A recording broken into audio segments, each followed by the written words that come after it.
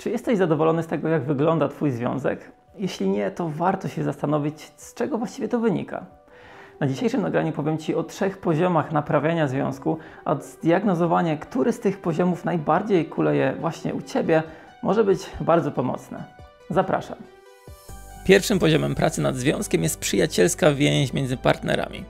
Jak pokazują badania statystyczne, szansa na przetrwanie związku do końca życia i czerpania ciągłej, wysokiej satysfakcji z bycia razem mają tylko te relacje, które oparte są na przyjaźni.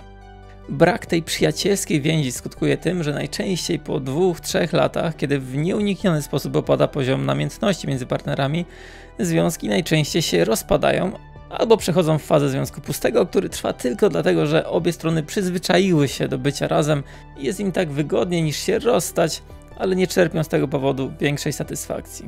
Pytanie zatem brzmi: czy twój partner jest twoim przyjacielem? Czy możesz mu zaufać w 100%? Czy rozmawiacie na trudne tematy? Czy czujesz, że możesz mu o wszystkim powiedzieć? Czy macie czas na codzienne, trochę głębsze rozmowy, czy może bardziej żyjecie obok siebie? Jeśli odpowiedź na większość tych pytań brzmi pff, chyba żartujesz, to już wiesz, że warto nad tą strefą dużo intensywniej popracować.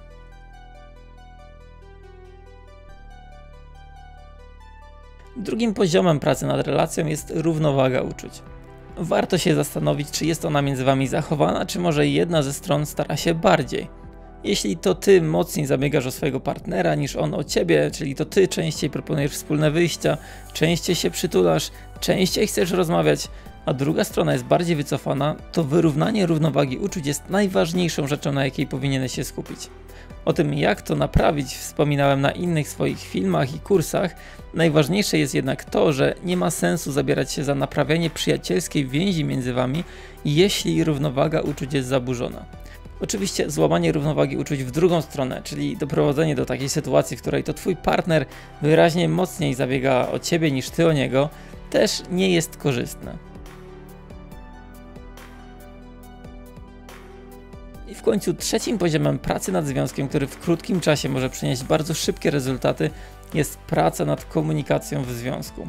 Innymi słowy, jest to zdobycie i wytrenowanie umiejętności rozmawiania z partnerem o trudnych sprawach w taki sposób, żeby nie powstawały kłótnie. Samo nauczenie się tego, jak atrakcyjnie reagować na to, kiedy twój partner się na ciebie zdenerwował, może być tak poważnym przełomem w waszej relacji, że kłótnie, które wcześniej były na porządku dziennym, mogą nagle zupełnie odejść w zapomnienie i pojawiać się bardzo sporadycznie. Praca nad komunikacją to jeden z najbardziej niezrozumianych tematów, którego opanowanie może zdecydowanie pomóc zarówno w poprawieniu przyjacielskiej więzi z partnerem, jak i w naprawieniu równowagi uczuć. Jeśli wiesz już w jakim kierunku w pierwszej kolejności skierować swoje działania, to teraz przyszła pora na zdobycie wiedzy na ten temat. A możesz to zrobić już teraz, zapisując się na bezpłatne szkolenie online, które cyklicznie prowadzimy z moją partnerką życiową Dorotą Filipiuk. Sprawdź szczegóły i najbliższy termin na stronie relacje.jakzdobywać.pl a jeśli czujesz, że sytuacja w Twoim związku wymaga szybkiej interwencji, to zachęcam Cię do zapoznania się z dwoma moimi kursami jak budować i naprawiać związek oraz doskonałe relacje w 30 dni. Szczegółowe opisy i cenę znajdziesz na stronie kursy.jakzdobywać.pl. I to wszystko na teraz. Do następnego razu. Robert Marchel.